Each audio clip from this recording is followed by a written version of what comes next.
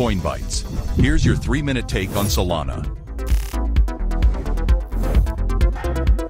Solana is a high-speed, low-cost blockchain launched in 2020 by Anatoly Yakovenko and his team at Solana Labs. Its native token is SOL, which uses a unique blend of proof of history and proof of stake. Bonus fact, Solana is named after a small beach in Southern California, where its founder spent his days surfing and developing the early version of the Solana protocol. First, its blockchain.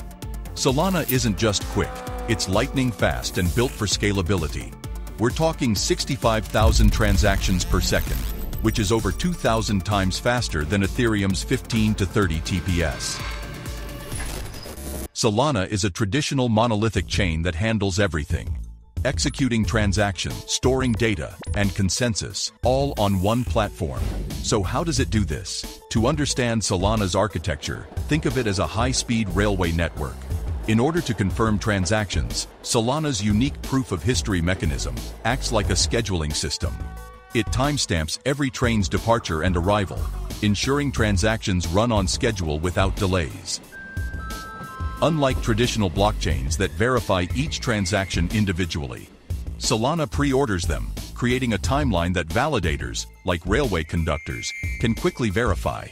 This is combined with the proof-of-stake mechanism, where the more SOL a validator stakes, the more transactions they can verify. The result? A secure, high-speed, and cost-effective network. Solana's blockchain ecosystem is extensive and boasts a vibrant developer community. It supports developers with grants, hackathons, detailed guides, and powerful tools. The Anchor framework simplifies smart contracts, and the upcoming FireDancer validator will ensure additional security. So what is it used for? The simple answer, lots of things. From GameFi and NFTs to DeFi and AI, but its blazing fast speeds and low costs have put it front and center in the meme coin trading world. Then there's its emerging DePIN sector. Quick reminder, DePIN projects use blockchain to manage and incentivize physical infrastructure networks. Take Render. It's a platform that lets users contribute unused GPU power to help projects render motion graphics and visual effects. In exchange, they earn Render, a token on the Solana ecosystem.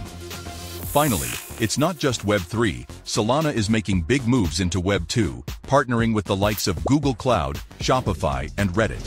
And payment giants like PayPal and Visa have partnered with Solana for payment solutions through its native USDC stablecoin. Intrigued? Add Solana to your CoinMarketCap watchlist. Stay informed, stay ahead.